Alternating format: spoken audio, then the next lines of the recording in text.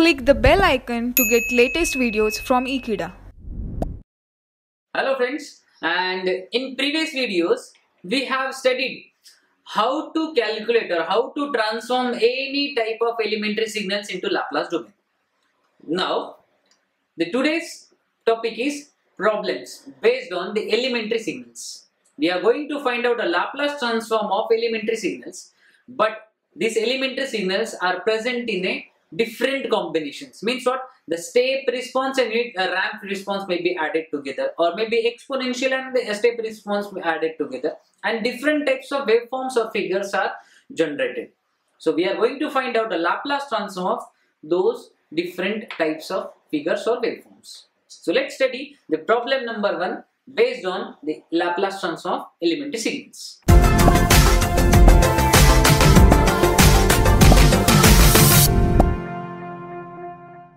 Now, in my first problem, what you can see, this graph is a constant, but suddenly, now look at it, I will start from initial, at a 0, your amplitude is increased up to 1 and from 0 to 1 this amplitude is constant which means you can say that in 0 to 1 you have a step response right? But suddenly at 1 this amplitude again increased by 1 and it is constant till 2 it instant 2 means what? First of all whenever such type of questions asked in your exams basically this question is find the laplace transform of given graph. So whenever such type of questions asked in exam first of all try to write the equation of this graph.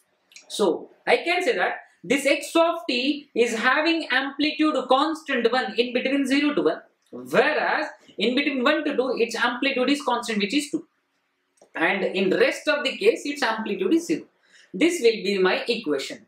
We will solve the Laplace or we'll apply the Laplace on this graph and let's see what will be the output of this given graph.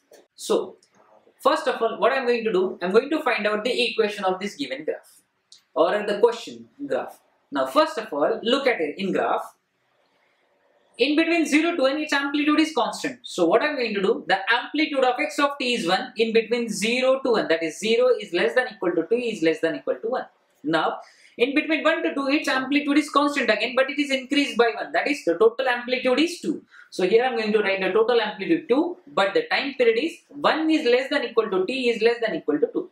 And this is the integration limits. So first of all, x of t is integrated over the range of 0 to 1 having amplitude 1. Means what?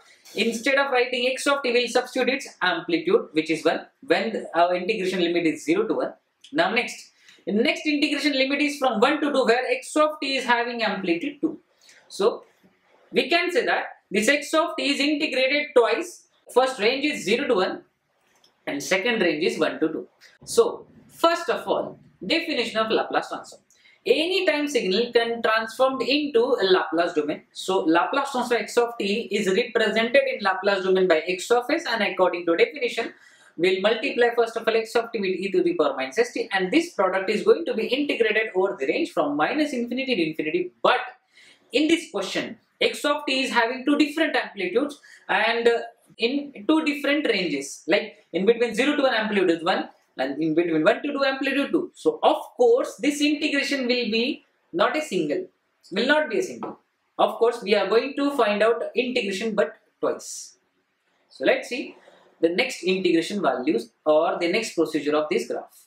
Now as I told you earlier, x of t is available from 0 to 2 but in between 0 to 2 it changes its value from 1 0 to 1 and 1 to 2 means what? Initially in 0 to 1 its amplitude was 1 and from 1 to 2 its amplitude is 2 so of course the integrations will be now 2 we are going to integrate x of t twice. So in first integration the time limit is from 0 to 1 and the amplitude is 1 whereas in next integration time limit is 1 to 2 where x of t is having amplitude 2 now just simple.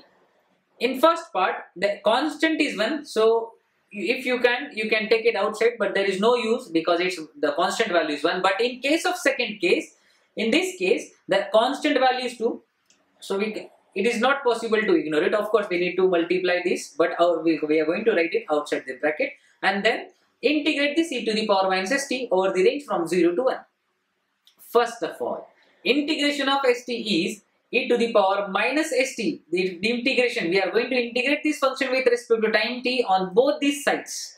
So of course on both these sides the integration of e to the power minus st will remain same. So first of all the integrating, we are going to integrate this function with respect to time t. Exponential function, if we want to integrate exponential function and uh, if its constant is minus s, then of course the integration of exponential function is exponential function upon its constant.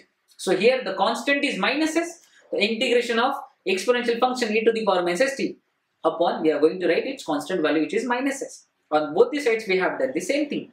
But next is we are going to substitute the limits. In first case the limit was 0 to 1 and in second the limit is 1 to 2. First of all upper limit will be substituted first and then lower limit. In this case also upper limit substituted first and then lower limit.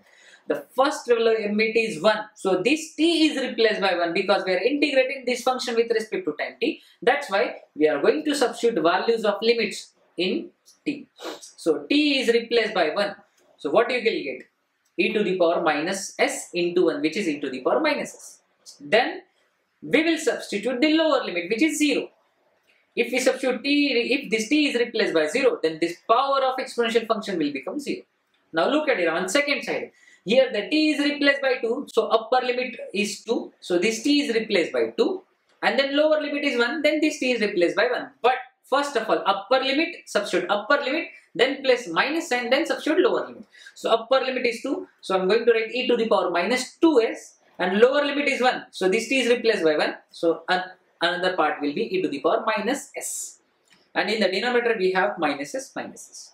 Now the next step will be you can take minuses common also. So if you take, now look at here.